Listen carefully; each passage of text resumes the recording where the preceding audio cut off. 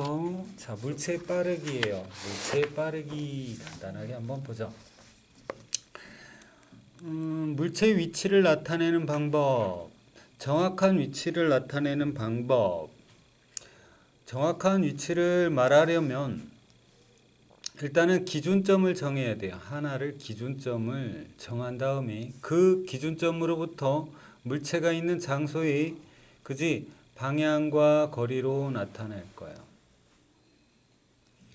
기준점을 정하는 방법. 대화하는, 사, 대화하는 사람이 모두 알아야 되겠죠? 나만 알아. 그리고 나만 그렇게 불러. 이러면 안 되겠지, 그지? 명확하게 설명할 수 있는 것으로 정할 거예요. 기준점은 시간이 지나도 움직이지 않아야 돼. 움직이면 안 되겠죠. 방향을 나타내는 방법은 일반적으로 동서남북 할 거예요. 거리는 센티미터나 미터나 킬로미터로 할 거예요. 그죠? 그림을 보고 네거리 중앙을 이게 네거리죠. 그죠? 네거리 중앙을 기준점으로 할 거예요. 여러 건물의 위치를 말해 볼 거예요. 민진의 집, 민진의 집 어디 있니? 여기 있다. 민진의 집위 빨간 점으로 되어 있죠. 그죠? 네거리 중앙이 기준점이에요. 거기에서부터 우리 동서남북 이쪽이 서쪽이죠. 그죠? 맞아요? 서쪽으로 100 60m죠. 여기가 여기죠. 그죠? 맞아요. 160m. 그 다음에 위로도 올라가야 돼요. 댕댕댕댕 대충 여기 같아요. 그죠? 북쪽으로 50이니까 40m. 그죠? 맞아요. 어? 도서관, 도서관 볼까요? 도서관 여기 있어요. 어, 이쪽이 동쪽이죠. 동쪽으로 댕댕댕댕댕 여기 한 칸인 것 같아요. 160m. 그죠? 북쪽으로 딩딩딩딩딩 그럼 한 여기 정도 되는 것 같죠? 80m 그죠? 북쪽으로 80m 위치에 있어 수영장 어디 있어? 오 민지네 집 밑에 우체국도 있고 수영장도 있고 공원도 있고 이야 다른 집도 없고 그냥 백화점도 있는데 민지네 집 하나밖에 없어 편의 편의 시설은 이렇게 많은데 민지네 집 하나 있어 부잣집이죠. 전용 그렇지 부잣집이에요. 민지집 옆에 바로 전용 수영장이 있어요. 그죠. 백화점만 해요. 그죠? 어. 짱인데? 자, 수영장은 네거리 중앙으로부터 서쪽으로 180, 그 다음에 밑으로 남쪽으로 20m 위치해 있어요. 신문사는 뭐 그런 식으로 해보세요. 민진의 집을 찾아갈 때 기준점이 없다면 어떻게 돼? 정확한 위치를 알 수가 없어요. 답은 어떻게 써야 돼요? 정확한 위치를 알 수가 없다. 그래서 찾기 힘들다. 이렇게 되겠습니다. 물체의 운동을 나타내는 방법. 운동하는 물체 찾기. 10시 5분 0초에 찍은 거고 10시 5분 1초. 1초 후의 모습이네. 그지? 얘네들은 가, 똑같고요. 똑같고요. 이 유모차가 이만큼 움직였어. 그지? 유모차가 움직이고 이 새끼 겁나 빨리 가네. 지금 이, 이 여자애보다 훨씬 빠르지 순간적으로 이만큼 움직였지 그지? 여자애는 얼만큼 이만큼 움직였는데 거의 유모차랑 비슷한 거리를 움직였는데 그지? 1초 동안 움직인 물- 물체는 유모차랑 유모차 미는 아줌마랑 달리는 남자랑 파란 옷 입은 애. 그 다음에 이거 이거 여자야? 어, 여자애. 1초 동안 움직이지 않은 거 나무 그대로 벤치 그대로 벤치에 인- 앉아 있는 남자 그대로 손 씻는 남자애 손 씻는 여자애. 어? 어, 예리한데 쓸데없는 거에 목숨 걸지 마라. 잉? 알았지? 그지? 어, 그러면 안 돼. 알았지? 거기서 왜 구름을 생각했을까?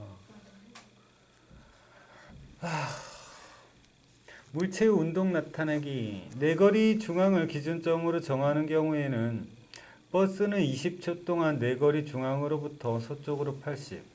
버스가 여기 있다가 일로 갔어. 20초 뒤에. 그죠? 네거리 중앙으로부터 서쪽으로 80. 남쪽으로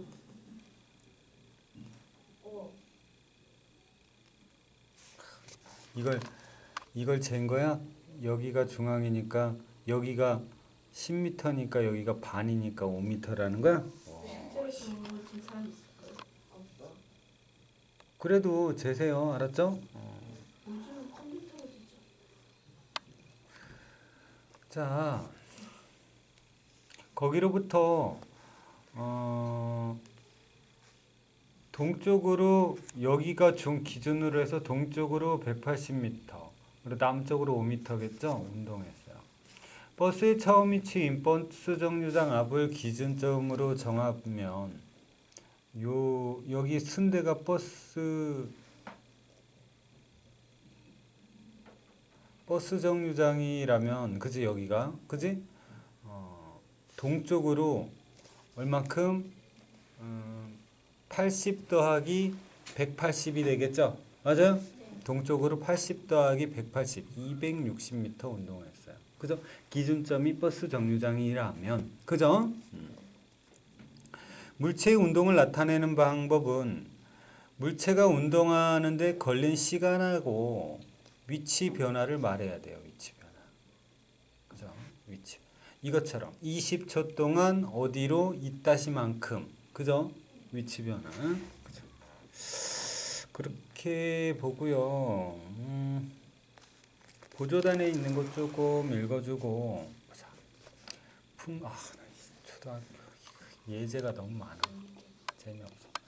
풍선 자동차 경주하기 만드는 방법. 7cm 길이로 자른 빨대 도막 두 개를 우드록판의 한쪽 면에 8cm 간격으로 나란히 붙입니다. 1, 2번은 문제 있어? 어, 멋진데? 그지? 밑에 그림 나와 있었는데.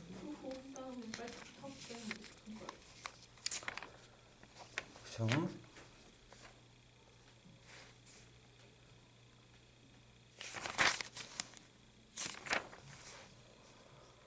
아, 한쪽 끝에만 바퀴를 끼운 바퀴축을 빨대에 통과시킨 다음 바퀴축의 다른 쪽 끝에도 바퀴를 끼워 네.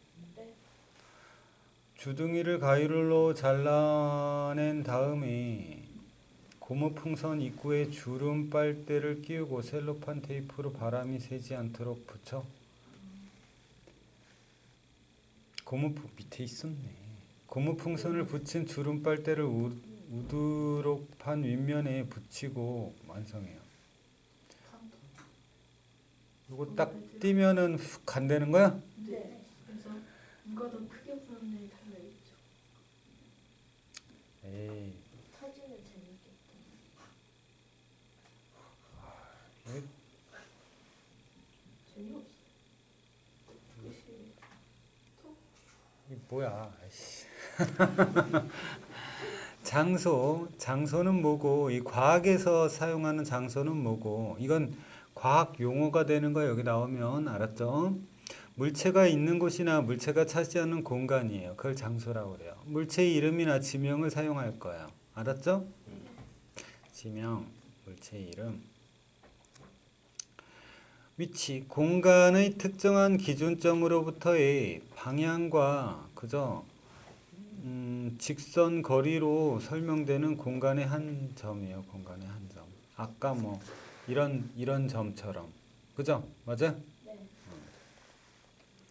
네. 여기 위치예요. 대충 이렇게 한 점으로 안 하고 여기도 우체국이고 여기도 우체국이고 여기도 우체국 이러면은 복잡해지잖아요. 그죠? 그래서 하나를 한 점을 얘기할 거예요. 우리 주변에서 운동하는 물체, 걷고 있는 사람, 날고 있는 비둘기. 아, 날고 있는 비둘기 보니까 아까 학원차 올 때차 앞길을 막고 있던 날아가지 않는 비둘기가 생각이 나네. 떨어, 그지? 떨어지는 낙엽, 축구하는 아이, 달리고 있는 자동차, 날고 있는 비행기. 아, 진짜 읽기도 싫으네요. 그죠? 운동. 일상생활에서의 운동은 주로 몸을 튼튼하게 해요. 건강을 위해서 몸을 움직이는 것들을 운동이라고 그래요. 엄마나 할머니들이 얘기하는 운동. 그렇지만 과학에서는 뭐예요? 시간이 지남에 따라 위치가 변하는 것을 말해요. 자, 풉시다.